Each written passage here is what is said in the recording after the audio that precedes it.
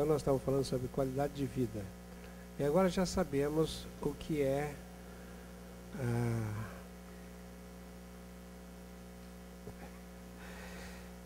vida, né? Então, vida do espírito e vida da carne. Quando Paulo diz assim: Não vos equivoqueis, de Deus não se zomba. Aquilo que semeardes, tu mesmo havereis de colher. De Deus não se zomba. Que, olha, de Deus não se zomba. O que, é zombar de Deus? O que, é, o que seria zombar de Deus? De Deus não se zomba. Aquilo que semeares, tu mesmo havereis de colher. Se semeares na carne, colhereis corrupção se no Espírito havereis de colher para a vida eterna. O que, que seria zombar de Deus? Quando você zomba de Deus, o que é que você está fazendo? O que, é zombar de Deus? É você se identificar com o pó que se torna pó e esquecer da imagem e semelhança de Deus em você eu quero que vocês guardem, pelo amor de Deus, isto. Porque muita gente tem a mania de pensar: ah, Deus vai me castigar, e põe Deus fora. Entenderam? O trono de Deus, põe Deus lá no outro mundo, no negócio tal, tem Deus fora. Deus longe. Deus no astral superior, acima do astral superior. Deus nos mundos infinitos. Jesus diz assim: Sabeis que sois o templo do Espírito e que o reino de Deus está dentro de vós? Então é importante isso, né? de Deus não se zomba. Onde é que está Deus? Então, eu quero que agora você fale com seu vizinho. Não zombe de Deus em você.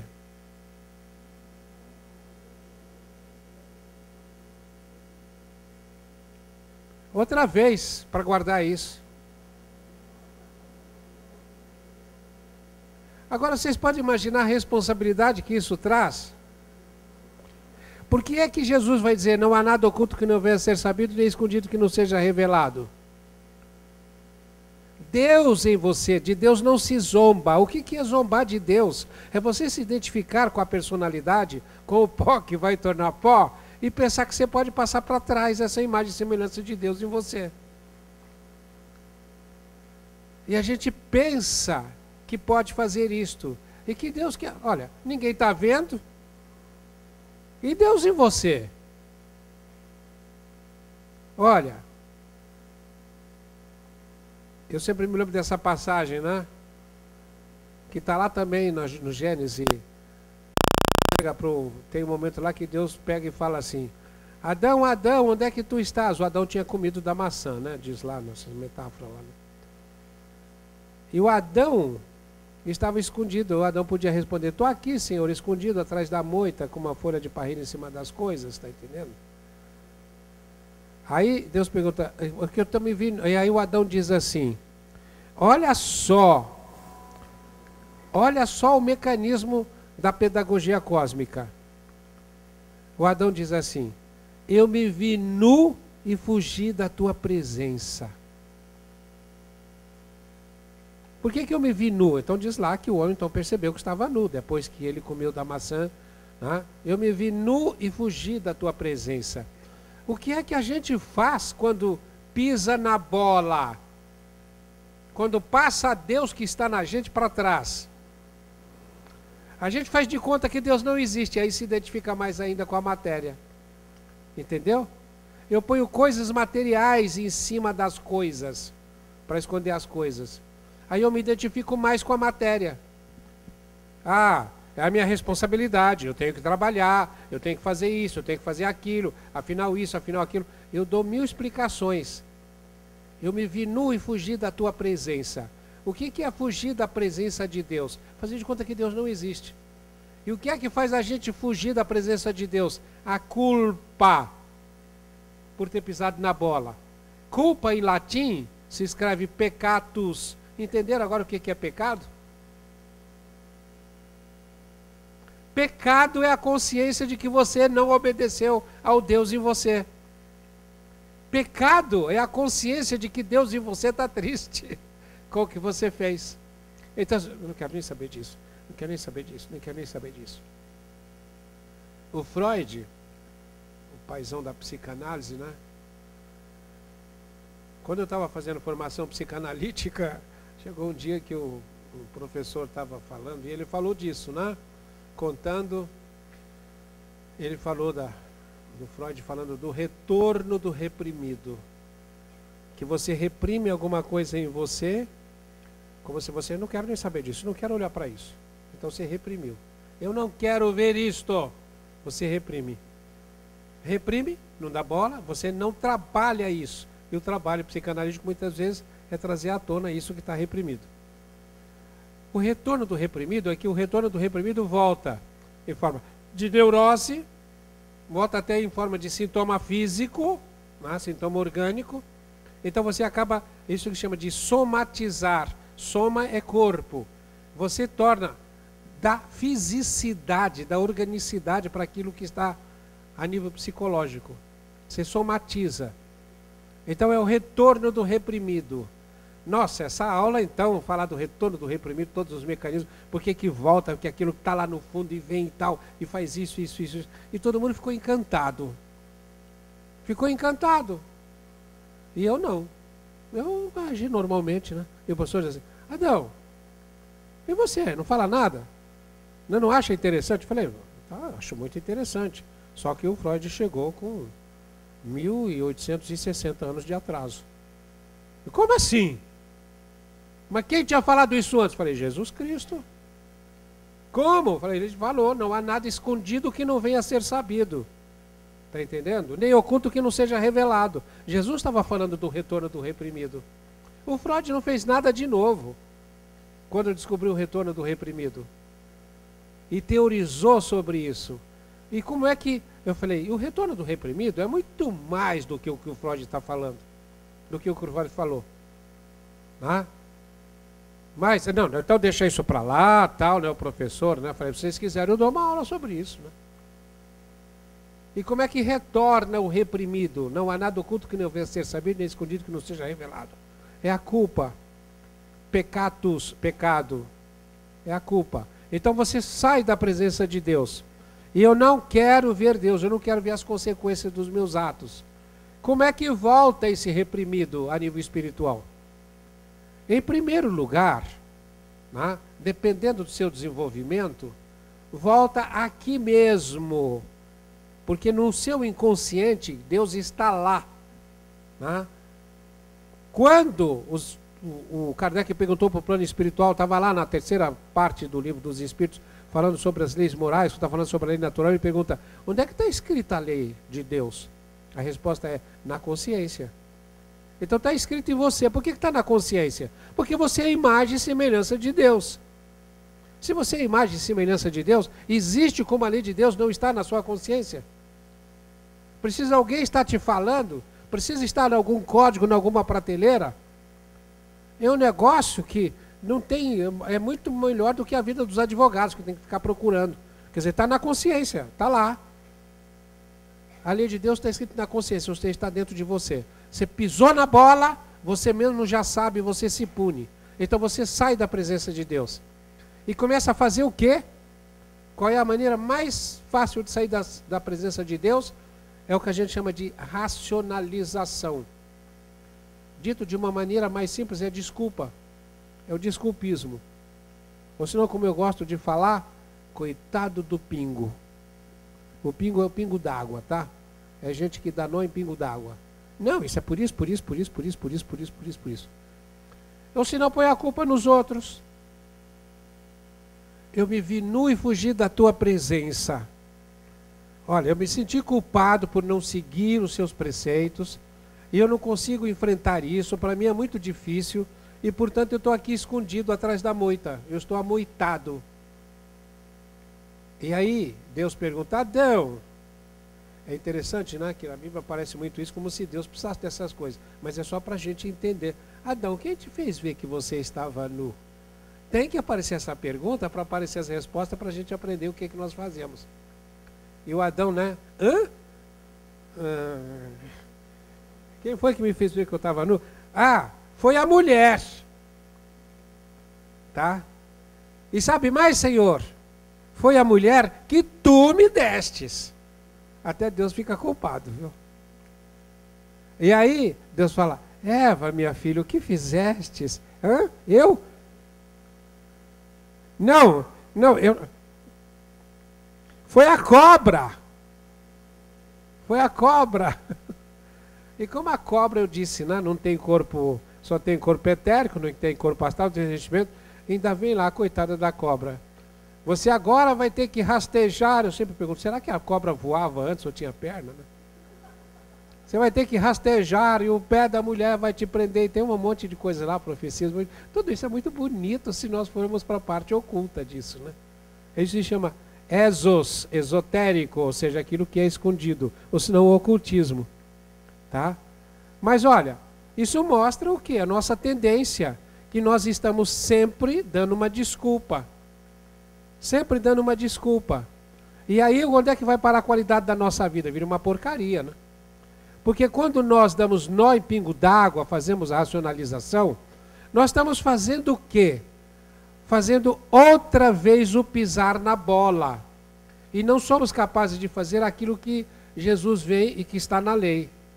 O que, que é estar na lei? Eu disse, o que, que está por trás de tudo? Por trás de tudo é isso. Eu vou dizer uma coisa para vocês. Eu estou com 76 anos. Há muitos anos eu falo essas coisas e até hoje eu não senti que eu tenha conseguido passar para as pessoas a profundidade disto. Me angustia mesmo porque eu tive uma espécie de impotência. Não consigo. Porque eu falo, fica num terreno só intelectual. Mas eu queria que todo mundo fosse capaz de entender isso. O que está por trás de tudo é o amor de Deus pelas criaturas, de Deus em nós. Então ele diz assim: você tem que estar identificado com ele para você poder sentir a divindade em você e esse amor de Deus. Mas o que que ele diz? Se confessardes os vossos pecados, eles vos serão perdoados. Se vocês pegam o Evangelho segundo o Espiritismo, o capítulo sétimo, que começa lá a série do, dos capítulos sobre as bem-aventuranças, o sétimo é Bem-aventurados os pobres em espírito. É você não querer ser o tal. Os pobres em espírito é o humilde, é humildade. E fala lá de humildade o tempo inteiro, esse capítulo. Né? O quinto do Evangelho segundo o Espiritismo. Não, o quinto não, o sétimo. O quinto é do karma. Bem-aventurados os aflitos, porque serão consolados. Né? O sétimo, bem-aventurados os pobres em espírito. Agora, nossa, fala da humildade, você confessar os seus pecados. Mas o que é que nós fazemos? Até a nossa sinestesia, até o nosso corpo revela o pecado, revela a nossa forma de ser. Então, o que é que o pecador faz? O pecador, ele sai da verticalidade. Né? Aquela pessoa extremamente culpada sai da verticalidade e começa a olhar para baixo. É a humanidade encarquilhada, a mulher encurvada que Jesus curou. E é Jesus que vai curar essa mulher encurvada, que é a humanidade, somos nós. O homem tem que estar voltado para o alto, tá? vertical. A energia espiritual desce pela coluna para a matéria. O vegetal está do. A, a, energia sobe da terra para o céu, ele está também na vertical. O animal está na horizontal, a coluna dele é na horizontal. Agora, nós, quanto mais nós fazemos assim, mais nós nos aproximamos do reino animal. É a energia animal que circula. E aí quem é que se vale disso? As entidades que estão animalizadas do outro lado. Os nossos irmãozinhos estão animalizados do outro lado.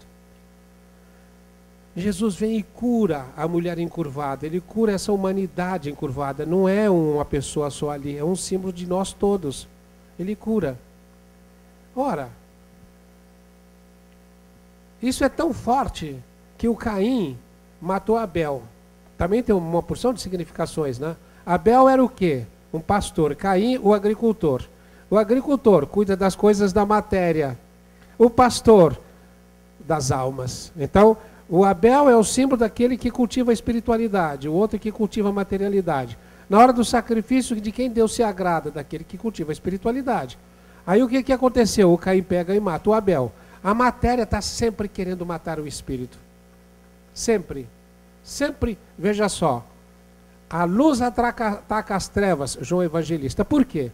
Porque as trevas mostram as más obras das a, a, luz mostra as más obras das trevas, então por isso as trevas atacam a luz. E o que, que Jesus diz? Que brilhe a vossa luz, para que os homens, vendo as vossas boas obras, glorifiquem a Deus, não é a você. O amor não busca os próprios interesses. Entendeu? Jesus, quando o capeta fala, pula do templo, que todo mundo vai bater palma para você, os anjos vão te segurar, diz: Não tentarás o Senhor teu Deus nas três tentações.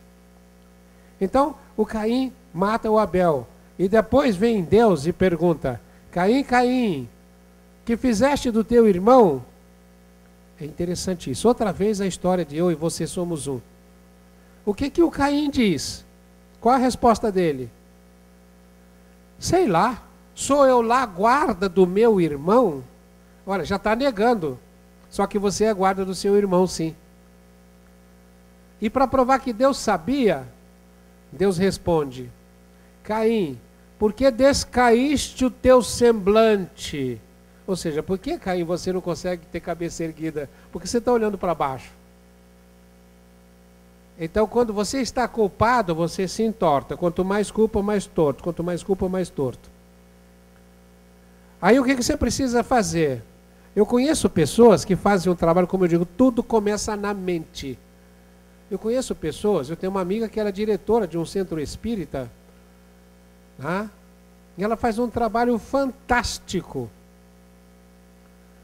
Nossa, o centro espírita tem TV na internet, tem um monte de coisa, é um trabalho fantástico. E ela é assim, totalmente corcunda. E ela luta contra a obsessão que não é brincadeira, os inimigos que querem, porque tem facilidade. Quanto mais você abre o chakra humeral que está aqui atrás e fecha o cardíaco, mais você se torna vítima de obsessores. Mas na mente dela ela está vertical. É isso que nós temos que fazer. O fato de você estar sem perna não significa que você não possa andar mentalmente. Sem braço que você não possa. Eu ainda estava hoje falando com o meu amigo Saulo e a minha amiga Valquíria, né? que eu quero fazer um documentário sobre os vencedores.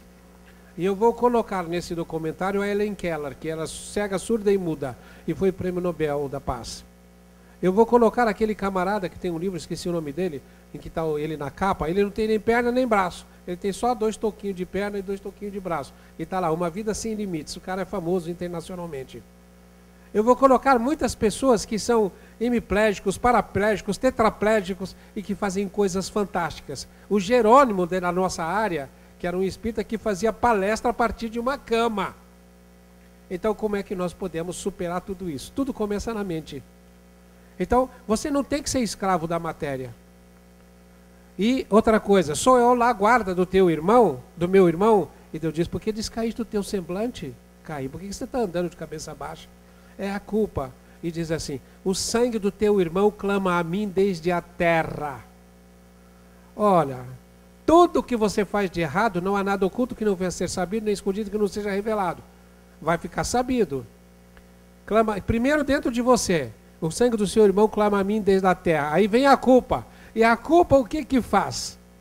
Apesar de você racionalizar, de nós racionalizarmos demais, o que que nós ficamos esperando? Quem é culpado merece o quê? Pena, não é? Merece cadeia. Deus não põe ninguém na cadeia, é você que se põe. Nós é que nos colocamos na cadeia.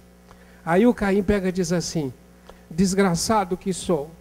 Qualquer um que me encontrar e me matar será perdoado 70 vezes sete. Sete vezes, né? Aí Deus fala assim: Não, Caim, qualquer que te matar será condenado sete vezes. Ninguém tem o direito, né? ele vai fazer isso no episódio da mulher adúltera. Quem estiver sem pecado, que atire a primeira pedra. E ninguém atira pedra nenhuma e a mulher sai livre. Né? E Jesus faz o quê? Quando pergunta para ela, onde é que estão teus acusadores? Foram-se, Senhor.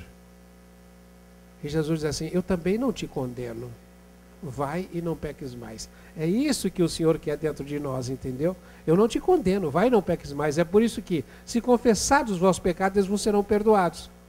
É a atitude interna de humildade. E quando você tem essa humildade e confessa os seus pecados, o que, que acontece? Você restabelece a ligação com Deus. Antes, quando você tem a culpa, o que, que acontece? Eu me vi nu e fugi da tua presença. Mas se você falar, Senhor, eu estou nu, e nu eu me apresento perante você, o que, que eu vou fazer para me cobrir perante você? Não tem o que eu posso fazer para me cobrir. Você me conhece integralmente. E quem é que aparece, qual episódio da vida do Cristo que aparece como o nu que se apresenta nu e o outro que foge, quer esconder atrás da moita? Os dois ladrões crucificados ao lado dele. Os dois comportamentos são paradigmáticos do nosso próprio comportamento. São como que modelos para nós. O mau ladrão é o Adão lá atrás da moita, é o Caim, ele diz assim, né? Ô gostosão, você não é o bom? Falando com Jesus, né? Desce da cruz, você não é filho de Deus, salve-se, venha nos salvar, se você é capaz.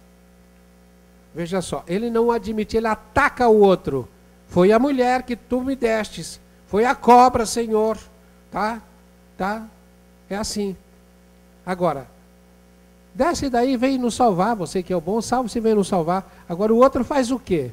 Ele se escondeu. O outro fala assim: pare com isto, cara. Nós somos culpados. Se confessar os vossos pecados, vos serão perdoados. Nós merecemos o que estamos passando. Esse é um justo. E aí ele olha para Jesus. O outro também estava olhando para Jesus e diz: Você desce daí. Jesus não olhou para ele. O segundo, o que, que acontece? O que, que diz o registro? Jesus volta-se para o cara e diz assim: Porque o sujeito olha para Jesus e diz assim: Senhor, lembra-te de mim quando estiveres na tua glória. Ele estabelece a ligação. Ele sai de trás da moita. Hoje mesmo estarás comigo no paraíso. Aí as pessoas falam, mas então, ele não, ele não, não vai ter que pagar o karma? Vai. Semeou, vai colher. Mas acontece que ele vai colher como?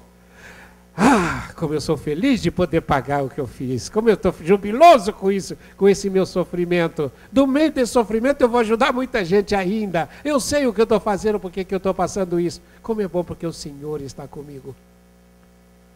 É o Paulo de Tarso, depois da conversão às portas de Damasco. Então você pode estar sofrendo. É interessante isso, né? Que muita gente sofre.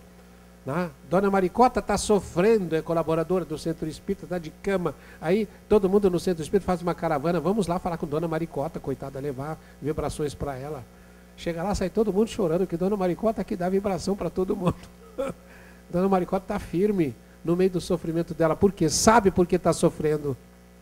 Então, passa pelo júbilo, entra, hoje mesmo estarás comigo na tua, na, estarás comigo no paraíso. Você pode passar pelas provas mais difíceis, porque tudo começa na mente. Tudo começa na mente. Você pode passar pelas provas mais difíceis, mas se você está ligado ao Cristo, ligado ao Senhor, então você faz isso com júbilo. Jesus dizia assim, né? Bem-aventurados sereis quando por amor do meu nome fossem chicoteados, presos, açoitados, quando sofreres calúnias, injúrias e tal por amor do meu nome.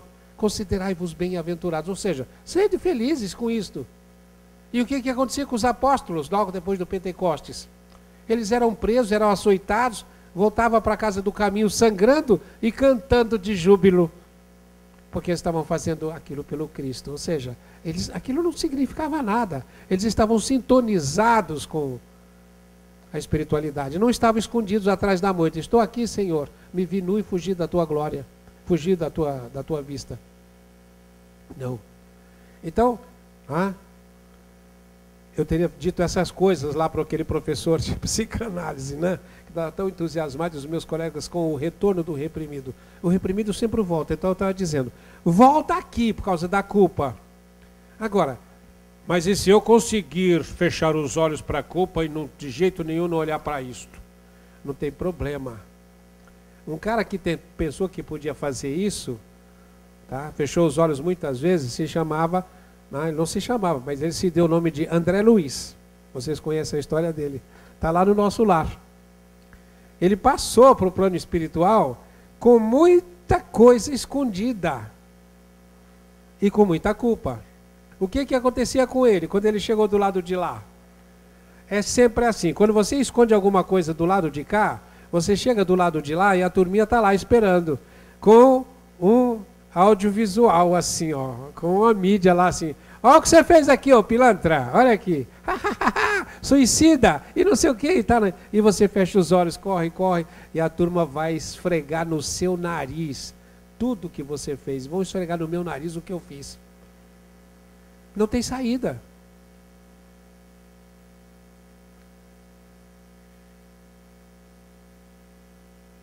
Vou brincar com vocês.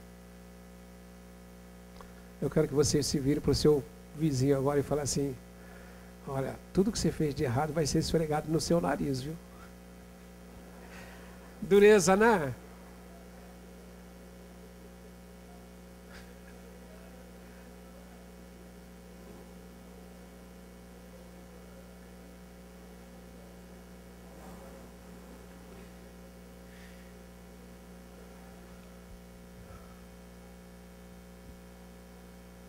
Olha, agora eu quero que vocês façam uma outra brincadeira, viu? Que é a questão da racionalização. Eu quero que você se vire para o vizinho e fale assim: você vai pagar todas as vezes que você enforcou o pingo d'água. É, tá no pingo d'água, né? Enforcou o pingo d'água. Você vai pagar quantas vezes você enforcou o pingo d'água.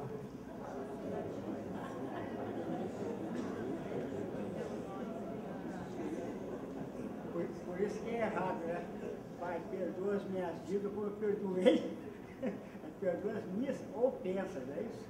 É. Então, dá para a gente esconder? Não precisava o Freud vir falar isso? Se o Freud não falasse, alguém ia falar. O Freud simplesmente fez do plano material aquilo que é espiritual. O André Luiz chega do lado de lá, e o que, que acontece com ele? É uma espécie de paradigma, de modelo do que acontece conosco, está no Evangelho. Ele fica quantos anos ouvindo essa gritaria atrás dele? Suicida, pilantra, vagabundo. E o que é que ele faz? Ele fica inerte, sem nenhuma reação? Não, ele reage. Ele reage, ele fala. Ele fala com Deus, mas ele fala como? Senhor, por que, que tem esses desgraçados atrás de mim? O que está acontecendo? É isso que a gente faz. É outra forma de enforcar o pingo, né? É ficar bravo desse jeito e põe a culpa de coisa. Né? Quantas vezes as pessoas dizem assim, estão metendo o pé pelas mãos e a gente vai dar uma orientação. Mas se existe tanto mentor assim, doutor Adão, por que, que não faz nada? Tá, tem, os mentores têm obrigação de fazer por mim. Não faz, eles estão aí. Tem muito mais mentores do que obsessores, você tem. Mas acontece que os obsessores têm mais poder porque você dá mais poder para a minoria. Tá? É assim que nós fazemos. O que, que acontece depois de oito anos? Agora, é, é interessante isto, né? É importantíssima essa parte. Eu vou economizar porque assim vai dar tempo de chegar. Eu só tenho mais 50 minutos, às 5 horas encerra, encerra, né? Eu quero dar chance para vocês fazerem perguntas. O André Luiz, quando você faz coisa errada, o Paulo diz assim: se semeares na carne, colhereis corrupção. Se não vou ter, senão não vou ter tempo de falar tudo. Se semeares na carne, colhereis corrupção. Quando você semeia na carne, é quando você faz motivado pelo pó que vai se tornar pó, então você está semeando no físico, no etérico, no astral e no mental. É quando você faz contrariando a lei de Deus. Contrário à lei de Deus é, não perdoa 70 vezes 7, não anda uma segunda milha, não dá a túnica para quem perde a, quem perde a camisa, não faça faz o outro aquilo que você quer que faça a você, não faça o outro você não quer que faça a você quando você não anda segundo a lei de Deus. Isso é semear na carne. Semear no espírito é fazer tudo de acordo com o evangelho, com o que o Cristo disse. Quando você faz contrariando o evangelho, você tem uma vibração, cria uma vibração essa vibração fica impregnada no seu corpo físico, etérico, astral e mental. Se é no físico, você pode nascer com deficiências físicas. Se, não é, se é no etérico, você nasce com deficiências energéticas, com compulsões, uma série de desgraças que vai ser objeto da palestra de amanhã em é, Pedregulho. Doença, caminho para cura. Compreende? Se é no emocional, você nasce com nossa, ansiedade, aquele negócio, você é toque, você é bipolar, você é o diabo A4 que está por aí na nosologia psiquiátrica e psicológica. E se você semeia negativamente na sua mente, você nasce com deficiência mental, você nasce com problema de raciocínio, você com problema de atenção, com uma porção de outras coisas. Tudo é fruto da sua semeadura. Tudo é fruto daquilo que você semeou. Agora, quando você semeia, você colhe corrupção. Quando você colhe corrupção, você tem de que descorromper. Você tem que descorromper esses corpos, físico, etérico, astral e mental. Como é que você descorrompe o corpo físico? carregando um, um aleijão. O etérico, problema energético. O emocional, medo, né, fobias, ansiedade, depressão, tristeza, um monte de outras coisas. E mental, uma série de problemas que eu não preciso nem falar. Você tem que cuidar disto. Descorromper. E você descorrompe sofrendo aqui. São quatro as formas que eu sempre falo que você tem que fazer a descorrupção. Uma delas é aquilo que você semeia tem que colher é o sofrimento. A outra é você sofrer servindo, é você servir. O amor lava a multidão de pecados. Você tem que servir. Essa é a segunda. A terceira, que é própria da nova era, é: conhecereis a verdade, ela vos libertará. Tudo começa na mente. Você sabe que hoje tudo começa na mente. Então você pode começar a fazer as coisas mentalmente, ainda que você esteja numa cadeira de rodas. Agora há pouco eu estava pedindo para a Tânia se ela pode me arrumar, né, uma indicação de um vídeo de uma aula completa de yoga. E que eu vou levar este vídeo para os idosos da casa de repouso que eu estou fazendo em São Paulo, que eu quero que idoso acamado faça yoga. Mas ele vai olhar lá e vai imaginar que ele está fazendo a mesma coisa. Na próxima encarnação ele vai vir com um corpo, porque mentalmente ele começa a se programar. Ele vem com um corpo muito flexível na outra encarnação. Pode começar a fazer nesta. Um aleijado pode fazer yoga mentalmente. Então você pode imaginar, é o que chama de visualização. Todo mundo sabe o efeito da visualização. Isto, isso só é possível agora no século XXI. Antes não tinha. Lá no tempo de Kardec, no tempo do Freud, não tinha isto. Ah, isso é uma coisa moderna. É a terceira. E a quarta? Se você for inteligente, você usa as três. Essa é a quarta, é você usar as três. Você sofre, você serve, como fazia o nosso irmão que ficava na cama, como é o nome? O Jerônimo, né? Você sofre, você serve e você faz o quê? Você usa a mente. Quando você usa a mente, você está criando um novo mundo para você. Tá? Aquilo que pensastes, isto mesmo, você vai viver. Tudo começa no pensamento. Tudo começa na mente. É aquilo que eu falei. Né? No princípio era o verbo, o verbo estava com Deus, o verbo era Deus, tudo que foi feito foi feito por ele. Nada do que foi feito sem ele se fez. Eu falo assim: no princípio você era o verbo, você estava em Deus. Tudo que existe na sua vida, no seu mundo, foi feito por você. Nada do que existe no seu mundo foi feito sem você. Está entendendo? Você é luz que se fez carne para habitar entre nós. Perceberam? Você é a luz que se fez carne e está entre nós. Você é a luz que se fez carne e está entre nós. Você é a luz que se fez carne e está entre nós. Todo mundo falando um para o outro aí. Você é a luz que se fez carne.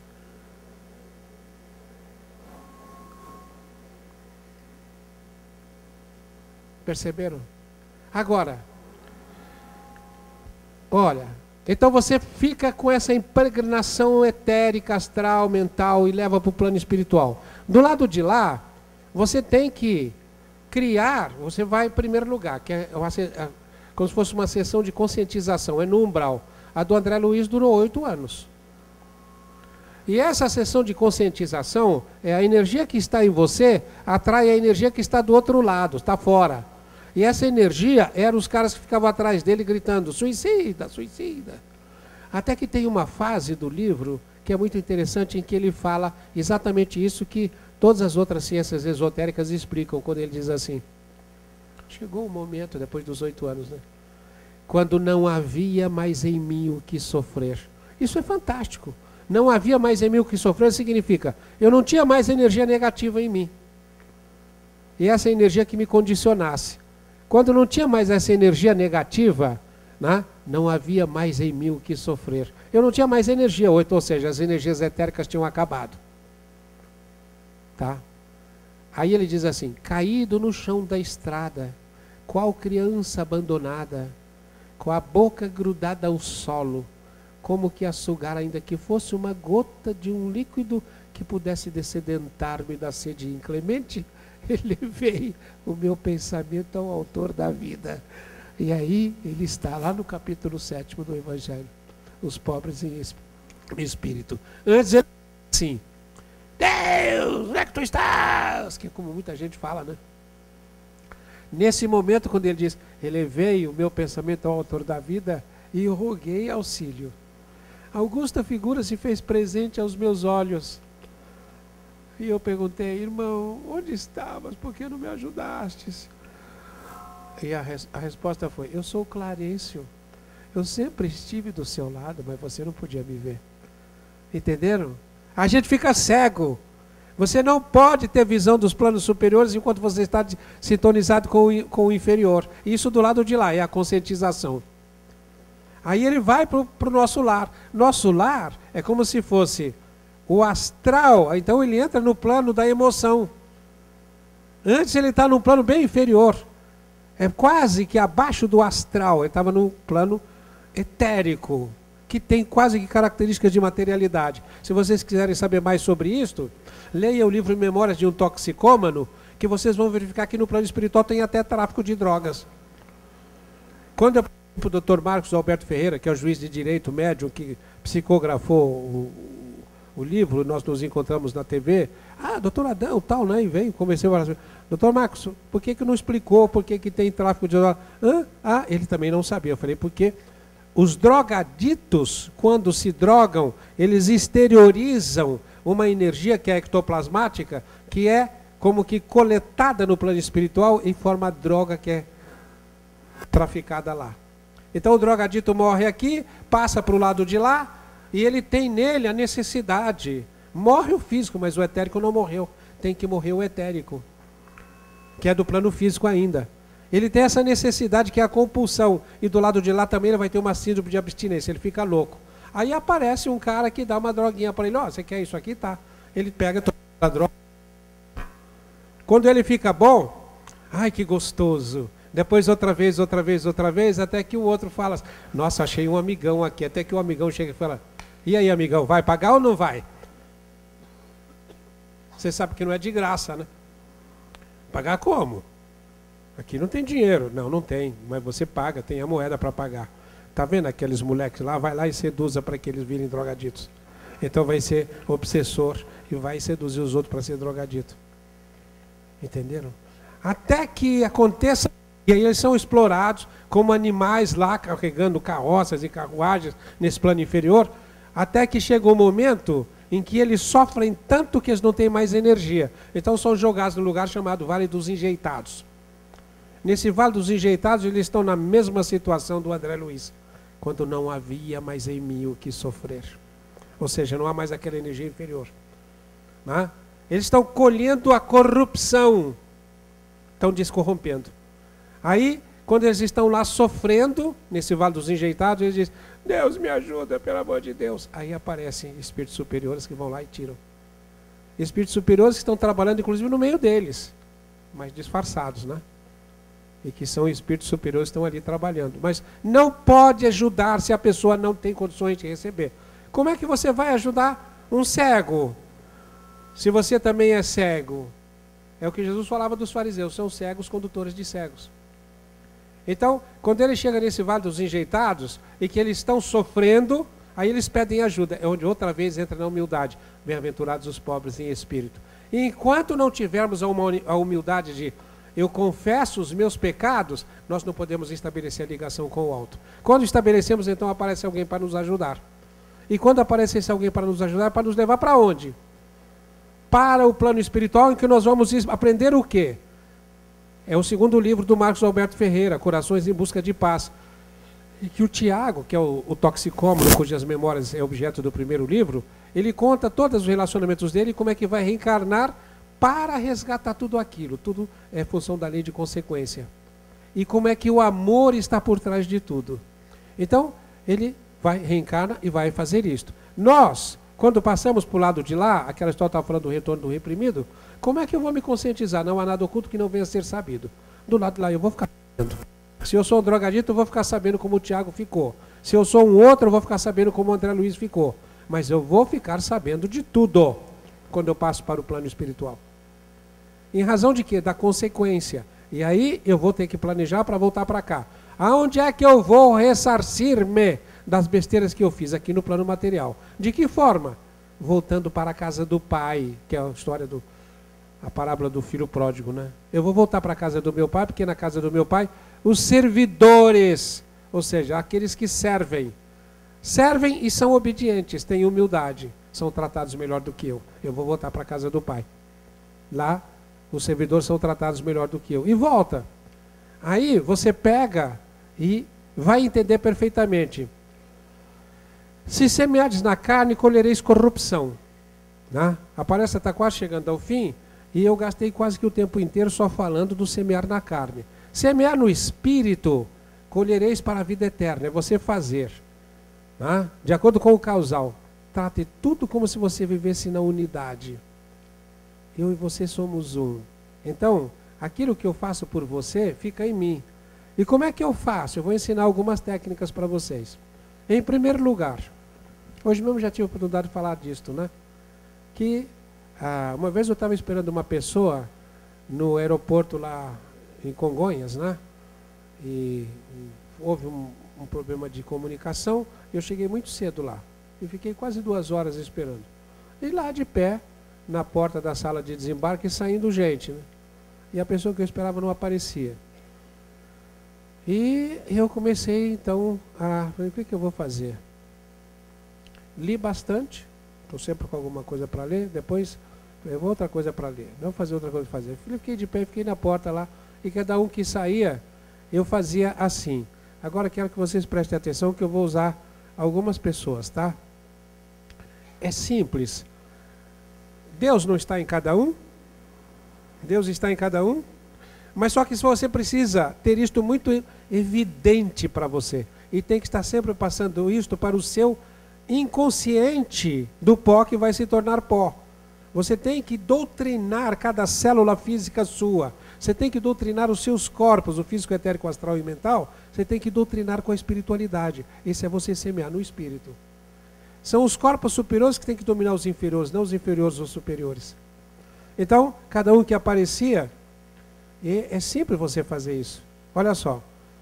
Pai nosso que estás nos céus, né? santificado seja o vosso nome, Natânia, Pai nosso que está, Pai Senhor que está na Tânia.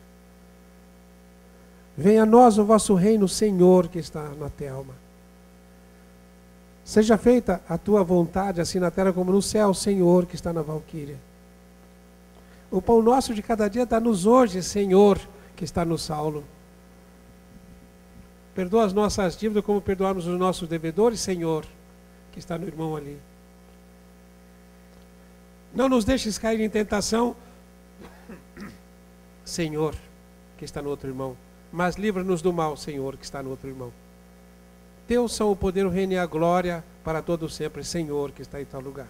Vocês podem fazer isto com o motorista do carro que está passando do seu lado, com as pessoas que estão na sua vida, com as pessoas que vêm à sua mente, mas estejam sempre nisso, vigiai e orai sem cessar. Cada vez que você para de rezar, o outro plano toma conta de você.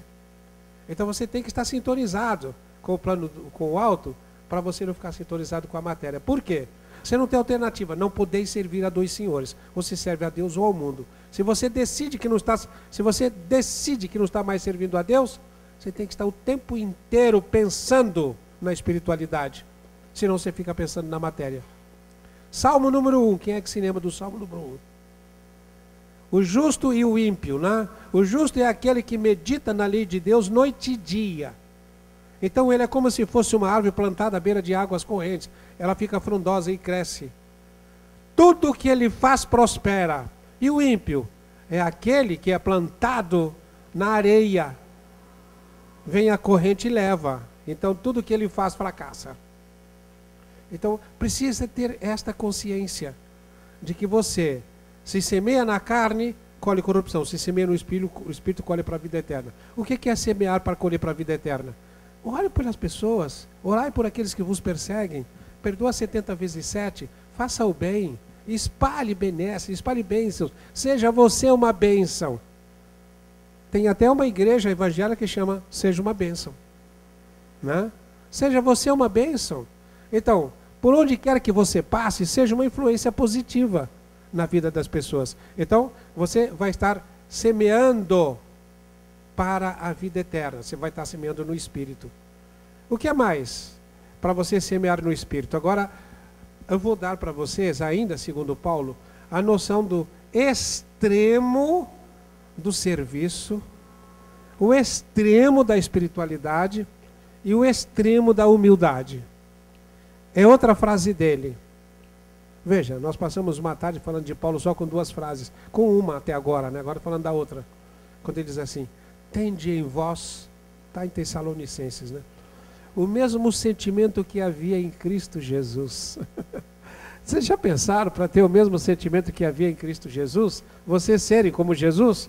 É difícil? Ah, mas Jesus era Jesus. O que, que ele disse? Sabeis que sois deuses? Que o que eu faço vós o fareis ainda mais? Se você vai fazer mais que ele, onde é que ele vai estar? Ele não vai ter mais sendo um Cristo da Terra, ele vai ser um Cristo solar, né? No sistema, vai estar sempre se desenvolvendo. Sabeis, tudo que eu faço vós o fareis e ainda mais. Então você pode. Compreende? Você pode tende em vós o mesmo sentimento que havia em Cristo Jesus, o qual, sendo perfeito como Deus, olha, Jesus é Deus, como se fosse Deus, não se arvorou ser Deus, quis, não quis ser Deus, não quis ficar como se fosse Deus, mas era como se fosse Deus, né? E aí o que, que ele faz? Ele se faz homem. Ele se faz, no, faz homem ele se torna homem, ele vem a este mundo. Ele, Jesus, disse mais tarde, né? Faça força para fazer amigos. E não há maior amigo do que aquele que dá a vida pelo amigo. E todo mundo pensa que dar a vida pelo amigo é morrer aqui pelo amigo, né? Eu digo, olha, dar a vida pelo amigo não é só essa vida do pó que vai se tornar pó. É você dar a vida da, da imagem e semelhança de Deus que está no plano celestial, você sai de lá e vem para cá. Tem muito filho que reencarna para salvar os pais. Muita pessoa que reencarna para salvar um grupo de pessoas. Outros que reencarnam para fazer uma tarefa com um grupo muito grande. Então, dar a vida também é muitas vezes dar a vida espiritual e voltar para cá. É vir como mensageiro. É vir em uma missão. Então, olha, tende em vós o mesmo sentimento que havia em Cristo Jesus, o qual, sendo como Deus, não se arvorou de ser mas se fez homem. E aí o que é que faz? Ele diz, né? E sendo homem perfeito, acima de todas as perfeições que nós possamos imaginar, ele se fez servo, não quis ser superior a ninguém. ele se fez servo. E servo de todos nós, servindo até a morte e morte de cruz. Percebem? Eu sei que vocês podem ficar assustados. Nossa, é esse o meu destino? Eu vou ter que seguir esse caminho? Vai. Vocês querem que eu diga mais para vocês? Vocês não têm saída. Todo mundo vai ter que fazer isto. O Cristo disse assim: quem quiser vir após mim, negue-se a si mesmo. O si mesmo é o pó que vai se tornar pó. Tome a sua cruz. Isso é a imagem e semelhança de Deus. E siga-me, ou seja, faça o que eu faço. Por quê? Eu sou o caminho, a verdade e a vida. Ninguém vai ao céu senão por mim. Então você tem que fazer o mesmo caminho. No seminário que eu estava fazendo, uma senhora, que é diretora de uma instituição beneficente semelhante a essa aqui, ela disse: Doutor, mas qual é o limite? Desse meu trabalho, desse sacrifício todo que o senhor está falando? Eu falei, o limite é o Gólgota. Ela ficou paralisada assim, depois ela disse, nunca ouvi uma coisa tão impactante e mais importante para mim do que isso. O limite é o Gólgota. Nossa, mas eu vou fazer isso. Eu vou ter que passar por esse sofrimento. Eu quero que vocês imaginem agora o seguinte: o que eu disse antes do bom ladrão. O bom ladrão era alguém que tinha pecados. Agora ele era sem pecado, Cristo. Agora, vocês podem imaginar que todo mundo fala do sofrimento do Cristo. Nós falamos do sofrimento porque, do nosso ponto de vista, nós não podemos falar de maneira diferente. Agora, eu queria que vocês todos imaginassem que estão no plano espiritual, junto com Ele, lá nos planos celestes. Entenderam? E que o Pai diz assim: olha, tem essa humanidade aí. Quem é que se candidata a ir lá para fazer o papel de mentor, de salvador, de orientador, de ser o meu emissário? Ah, vamos jogar no palitinho para ver quem está. Não, não, eu quero, eu quero. Senhor, me deixa eu ir lá. Eu estou ansioso por pegar uma cruz. Mas olha, você vai ser chicoteado. Não, por você, que, que luxo vai ser. Olha, você vai carregar uma cruz, você vai pegar uma coroa de espinhos. Ah, que júbilo vai ser eu poder fazer isto pelos meus irmãozinhos que estão lá. Me deixa aí, me deixa aí, me deixa aí. É o júbilo. Né? Ele Veja só, na parábola dos talentos termina sempre com o quê? Entra no gozo do teu Senhor. Fosse fiel nas pequenas coisas, te daria. Olha, eu carreguei uma cruz de 30 quilos. Servo bom e fiel. Fosse fiel nas pequenas coisas, te daria tendência das grandes. Na próxima você vai carregar uma de 300. Entra no gozo do teu Senhor. Na próxima de mil. Olha, daqui a pouco você vai salvar uma humanidade. Você ajudou uma família, agora você vai ajudar um grupo. Ajudou o grupo, vai ajudar uma coletividade maior. Agora você vai ajudar uma humanidade vai ser um Salvador. Aí você vai fazer o quê? Você atingiu o quê quando chega a este grau? De vir em termos de uma missão. Você já não é mais alguém que está aqui para colher corrupção, ou seja, para descorromper os seus corpos por causa da contaminação que você fez pela semeadura errada. Você não está aqui para colher porque você semeou no Espírito. Você está aqui porque você quer simplesmente servir. O júbilo maior é servir. Servir a Deus. Ah, este é o júbilo maior, é servir a Deus. Aí você vai descobrir que isso que nós chamamos de sofrimento é do nosso ponto de vista. Vocês acham que, que Jesus não podia se opor àquela cruz de espinhos, às chicotadas, mas ele usava tudo para ensinar. Pai, perdoa, eles não sabem o que fazem. Cada passagem, cada passagem é como se fosse uma lição para nós. Até aquela última, né?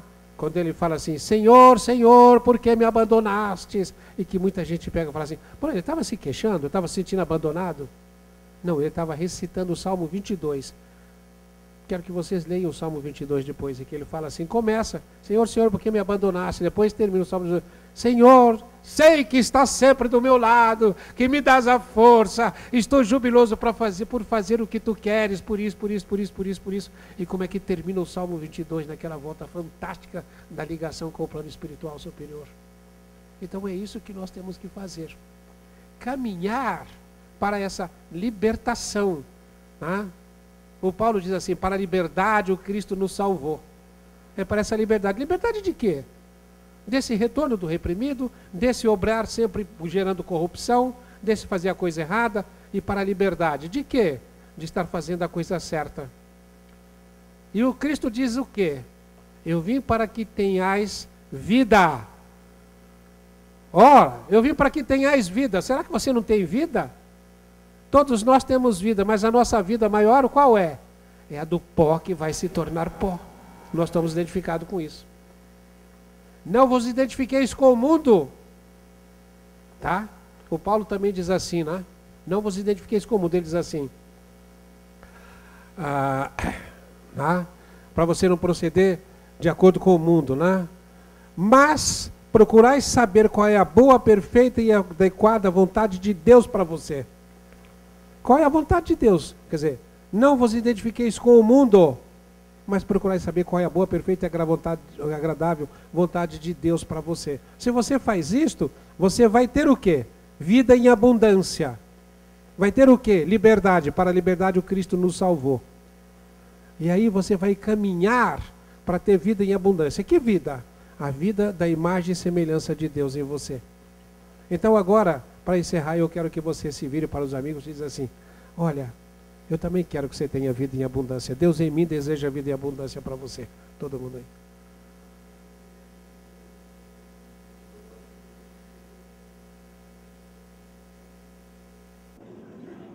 Se puderem, abracem-se. Deem a vida em abundância, muita abundância.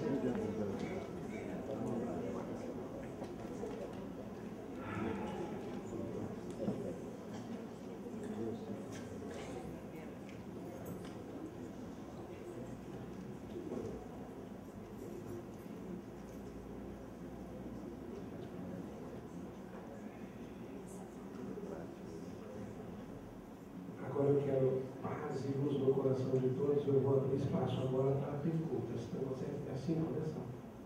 Temos 20 minutos para perguntas. Se ninguém tiver, eu vou ficar falando com ele. Minutinho só. Boa tarde. Um, dois. Ligar? Boa tarde. Ah, então a gente só precisando para fazer pergunta no microfone por causa da gravação. Para levantar a mão. Agradecer aqui a, a Ruse, doutor Adão, que faz tempo é um sonho está sendo realizado, ele está aqui essa tarde. Ele sabe dos compromissos dele. E aproveitar a oportunidade de estar divulgando a TV Mundo Maior, que ele faz parte. Ontem liguei para. Estava assistindo a TV a Mundo Maior. Eu não sabia que estava ao vivo. Eu liguei para ele, eu estou numa reunião aqui na Mundo Maior, que estava lá na, ontem à noite. E, e, é uma TV, 95% do que eu vejo na TV é da TV Mundo Maior. E a Rádio Boa Nova também, no trabalho, a rádio que tem o programa Alma Querida, na rádio, na TV. E eu vejo, doutorado, muitos espíritas têm Sky, pagam mensalidade, e não tem a TV Mundo Maior, que não tem mensalidade, tem um aparelhinho. É, tem a Associação Amigos do, da Boa Nova, lá em Barulhos, eu participei, tem um encontro lá, muito bom. Eu queria que depois o senhor falasse um pouco da, da, da TV Mundo Maior. É, agradecer também o Dr. Kleber Novelino, que é filho do, eu até comentei com o senhor, do Dr. Tomás Novelino, que fundou aqui, é, 99 anos, encarnou 99 anos, vegetariano, doutor Adão é vegetariano. É, eu tive o prazer de fazer uma caminhada ecológica com o Dr. Tomás Novelino lá no Parque Estadual em Pedregulho. E é uma pessoa que fez um trabalho aqui maravilhoso. Então eu queria que o senhor falasse da, da TV Mundo Maior, o senhor vegetariano, o, a gente vê assim, o espírita fala assim, muita gente, para justificar, não, o que importa é o que sai da boca, não o que entra. Se senhor falasse um pouco da carne, até para a gente, eu estou tentando se libertar, né? Ah, não precisar comer carne, mas eu queria que o senhor reforçasse essa da carne e, e, e um presente aqui do cigarro, né? O que acontece com o espírito depois que desencarna? O que, é que acontece por esse do cigarro que eu falei para ele, precisa gravar um CD para a gente. Ele tem uma explicação que eu nunca vi, igual, assim, então, porque para a gente, se o senhor gravar um CD, já vai a cobrança aqui. Para a pessoa que fuma, a gente chegar e escuta aqui. Porque a gente vê espíritas e pessoas esclarecidas que não conseguem, infelizmente, se libertar desse vício. Então, desculpa aí, eu, muito obrigado, então. Muito obrigado, doutora. Faz uma pergunta. Dá para ouvir? Vamos ver outra pergunta, ver se eu posso usar o tempo para responder duas ao mesmo tempo. Radal, me O plexo nervoso tem influência com as nossas aptidões? Tá bom, obrigado. Bem, ah, veja só, o que diz o Sol. Primeiro, Rádio Boa Nova e TV Mundo Maior. São emissoras da Fundação Espírita André Luiz. Ah, eu vou falar algumas coisas aqui que o pessoal lá da TV vai acabar me batendo, tá? Eu sou muito mais rádio do que TV. Quando eu disse que nós temos corpo físico, corpo etérico, corpo astral, corpo mental, quem estuda em profundidade isso vai saber que o corpo etérico, o corpo etérico, ele é composto de quatro éteres. O primeiro deles é o éter químico. O éter químico é o responsável pela sua digestão, tá? Pelo metabolismo, é o responsável pelo metabolismo. Tem dois polos, polo positivo e polo negativo. polo positivo é o anabolismo, é a assimilação energética. O polo negativo é do catabolismo, tirar aquilo que não serve para ser você. Se você é João, tudo que entra em você tem que se transformar em João. O que não serve para ser João tem que ser posto para fora. Ora, quem põe para fora é o éter químico na sua parte negativa. Quem assimila para ficar com você como energia, para ser João, é o éter químico, o polo positivo. O segundo éter, que é chamado de éter vital, é o responsável pela circulação do sangue e pela libido. E esse segundo éter, ele se forma o primeiro aos sete anos, o segundo aos 14. Quando você nasce, você é um pacotinho de carne. Só aos sete anos é que se forma a primeira parte do duplo etérico. E aos 14, a segunda parte do duplo etérico é o éter uh, vital, que é o que dá a libido. É por isso que aos 14 anos, por volta dos 14 anos, tem aquela confusão total dos jovens, porque além do duplo etérico, aos 14 anos nasce o astral. Aos 21 nasce o mental. Por que, que a legislação da maioria dos países do mundo outorga a maioridade aos 21 anos? Porque até os 21 anos é como se você fosse ainda um bicho. E por que é que você tem que ter obediência a papai e mamãe? Porque não tem ainda o discernimento que só nasce, na realidade, nasceria aos 21, se for bem preparado, compreende? E nem tem condições. Você tem que sofrer a limitação e ter a obediência para ser como que formado para a partir dos 14 você começar a viver a sua vida, porque vai ter uma confusão muito grande aos 14, que é a união do duplo etérico na segunda parte, quando completa o, o éter vital e entra na puberdade, vem a libido, junto com o astral, que é a emoção. Então eu digo sempre, emoção com tesão dá uma confusão que Deus do céu, né? E aí, veja, quando você está com os 21 anos, você completou a terceira parte do duplo etérico também, e a segunda do astral, e a primeira do mental. Essa terceira parte do duplo etérico é o que se chama de éter luminoso. O éter luminoso é o responsável pelos sentidos. E nós temos sempre, isso falamos, né, todos nós aprendemos, a questão dos cinco sentidos: visão, audição, paladar, olfato né, e tato. Agora, de todos estes, qual é aquele que é mais próximo de nós? É o tato, você precisa pegar. Então isso faz as pessoas sinestésicas, que precisam ficar tocando. Né? Essas pessoas têm uma certa dificuldade de lidarem com os princípios mais elevados, principalmente com aquilo que nós chamamos de corpo causal, porque elas são muito centradas naquilo que é o físico.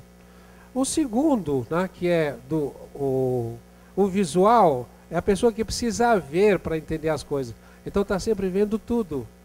O outro é o auditivo, que é aquele que pega as coisas que ele de olhos fechados, ele ouve, então as coisas têm que fazer sentido para ele.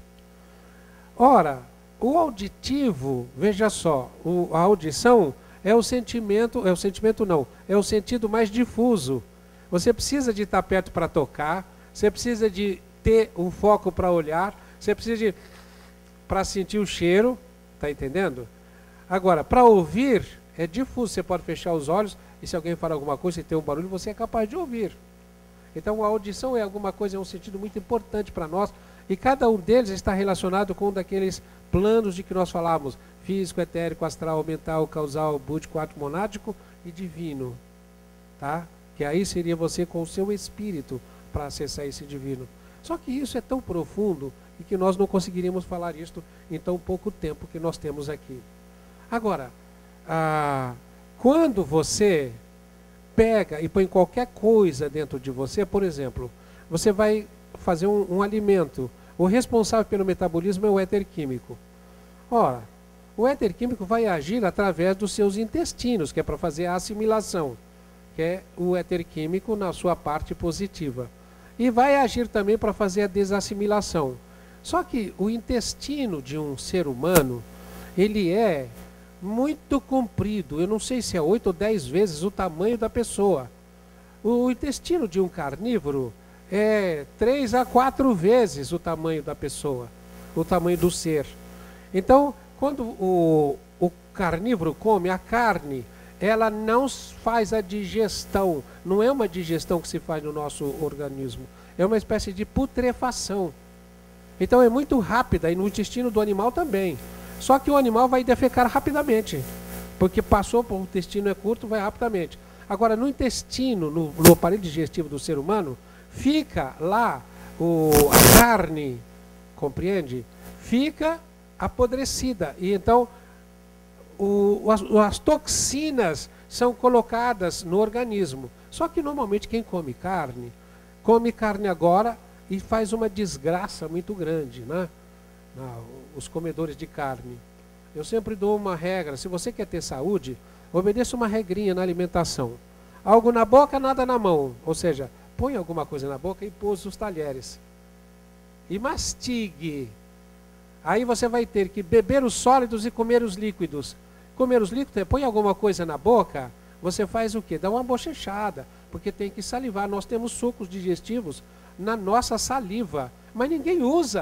Porque a, a alimentação passa pela boca, ela não é mastigada. As pessoas é como se bebesse a comida. E eu falei, não faça fila. Fazer fila o que, que é? É assim, né? Eu estou com coisa na boca, um garfo aqui na porta e o torresmo aqui. Né? Faz fila, quer dizer, é desse jeito, como se fosse uma maquininha. A outra coisa também é o que você faz. Você precisa, eu falo, você é como se fosse Fiat 147 a álcool em dia de frio. Quem se lembra do Fiat 147? Nossa, era difícil pegar, né? Então tem que esquentar. Agora, quando você vai se alimentar, o seu metabolismo, o seu organismo, ele precisa de um aquecimento. O que é que nós fazemos de absurdo também? As pessoas comem com refrigerante do lado. Então, esquenta o motor e depois esfria.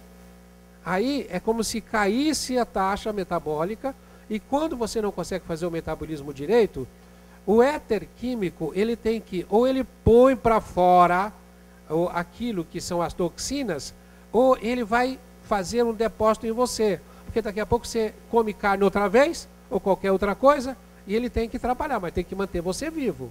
Então cria ou faz células adiposas ou ateromas. As suas artérias vão ficando estreitadas. E à medida que vai estreitar as artérias, se tem médico aqui, pode dizer para vocês, você vai ficar com pressão alta. Se fica com pressão alta, vai aumentar a, a, a taxa de energia do éter vital. Agora, o éter vital, ele quando o éter químico não consegue fazer a digestão direito, ele rouba a energia do éter vital. Então o éter vital fica mais fraco. Você que precisa do éter vital para aumentar a, a, taxa da pressão, tem menos. Então o éter vital vai tirar de onde? Do éter luminoso. O éter luminoso é o terceiro éter. O terceiro éter que eu disse que é o responsável pelos sentidos. Aí o que acontece? O número, vocês olham, no, no, às vezes eu fico olhando assim na televisão televisão, aqui até que a coisa tá bonita, tá? Mas eu fico olhando na televisão, às vezes alguém está fazendo uma palestra em uma plateia. Jovens, pessoas jovens ainda, mas a grande maioria usando óculos. Porque dá um certo desespero. O que eu vejo de pessoas à minha volta usando óculos, por quê? Porque comeram errado e o éter luminoso está defeituoso, está defraudado. Essas pessoas começam a usar óculos muito cedo. Às vezes já traz essa deficiência de uma outra encarnação, mas às vezes cria nesta. Por quê? Porque o éter luminoso ficou sem força. Eu estou com 76 anos, está entendendo? Leio tranquilamente, muito melhor do que a Santa S que está aqui, que é minha amiga lá do Maranhão, está entendendo? Que usa óculos de grau 17, coitada. E ela tem 37 anos. Entreguei você, né, querida? Me perdoa, viu? Depois você me xinga, agora não. Agora não. Tá? Já pensou nos xingamentos. Está entendendo? Então veja. Agora, tem a outra desgraça que é ainda maior. Essas pessoas que têm esse problema de atacar o éter luminoso, que é o responsável pelos sentidos, o éter luminoso, você vai ler, você tem que dirigir carro, você vai ter que usar energia. Ele vai roubar a energia de quem? Do quarto éter. Nós temos quatro éteres. O quarto éter, que é chamado de refletor, é o responsável pela memória. Aí o que, que acontece? Se tira a energia do éter refletor, você tem um encontro com aquele médico alemão muito cedo, né? Como é que chama? Aquele doutor? Doutor Aus, né? Doutor Aus. Alzheimer. Tá entendendo? Aí você vai encontrar o doutor Aus muito cedo. Né? E o que está tendo de, de, encontro com o doutor Alves por aí, pelo amor de Deus. Mas graças a Deus tem muita gente estudando e fazendo essas coisas. Agora veja, você pega e o que, que você faz? Você é capaz de tirar do alimento o máximo de energia que ele tem. As pessoas não tiram nem a metade do. Por favor, fica de pé, vem cá, quero que você conte uma coisa. Virou cobaia. Eu quero que você conte para eles o, o, o, quanto eu sou guloso. Ah, tá. Ele vive de luz e de suquadez. Bebe um copo por dia. Sério, ele não almoça. O, o café dele é um copo de adez e no jantar um copo de adez. E não sente fome. E tem esse pique o tempo todo. Não é verdade o que ela está falando, ela está brincando, tá? É que às vezes eu passo, eu não tenho necessidade. As pessoas que trabalham comigo ficam assim, dizem assim, de repente, olha, é, é duro trabalhar com o doutor Adão. Ele esquece de almoçar, ele esquece de jantar, tem que falar, olha, eu estou com fome e tal, né? Porque... Agora, por quê? É você ficar com esse condicionamento de saber que você pode tirar da energia o máximo, do mínimo, que você come dez vezes mais do que é necessário. É incrível. E por quê? Porque nós somos escravos desse prazer.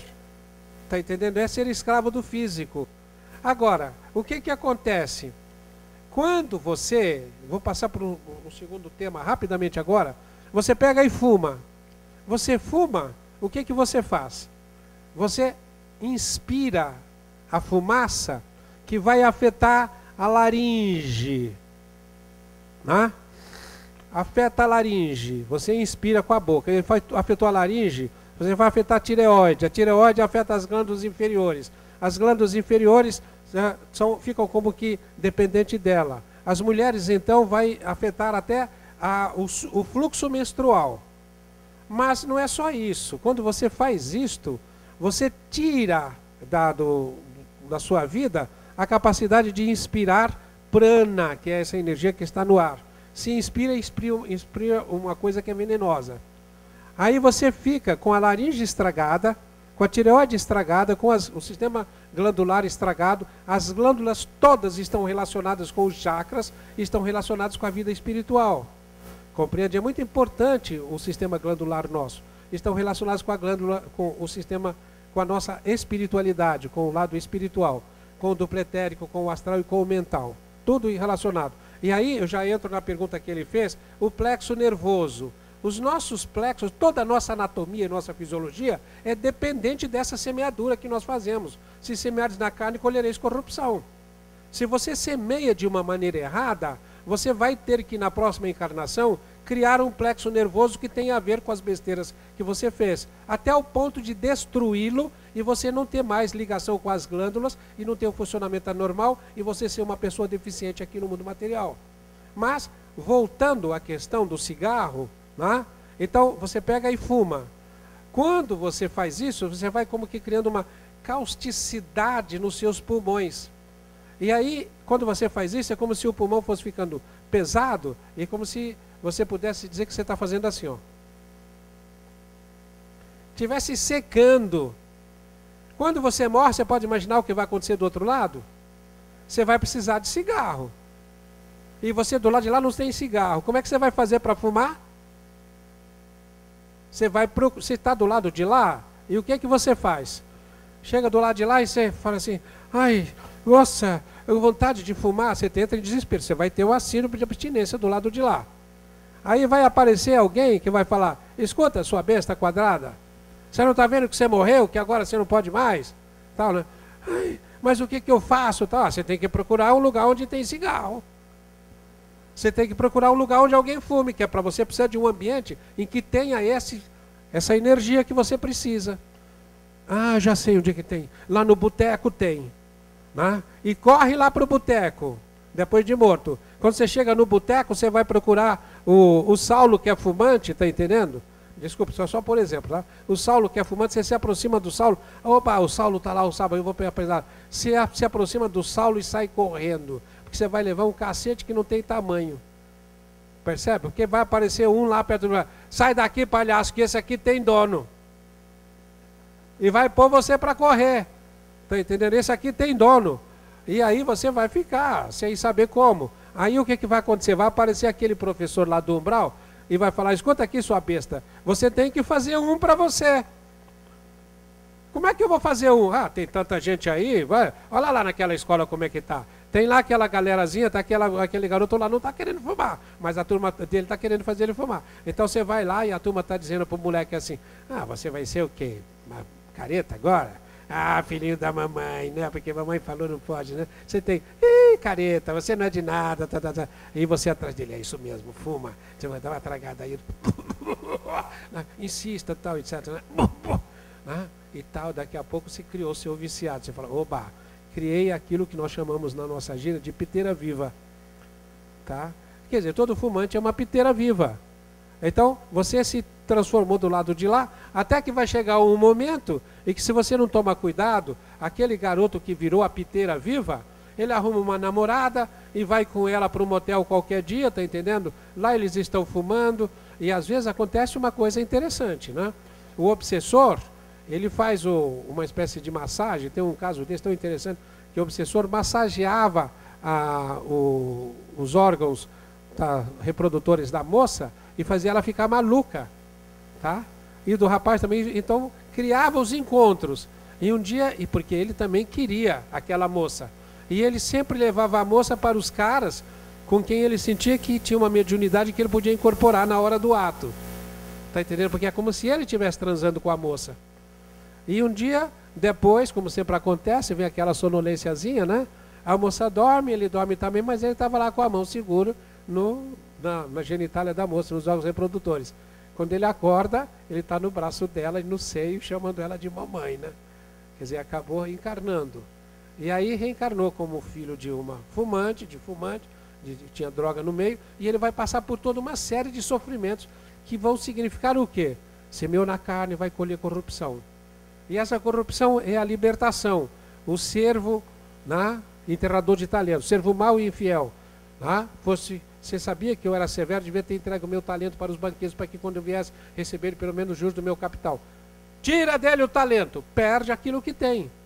Ataio de pés e mãos, você fica com um pulmão defeituoso.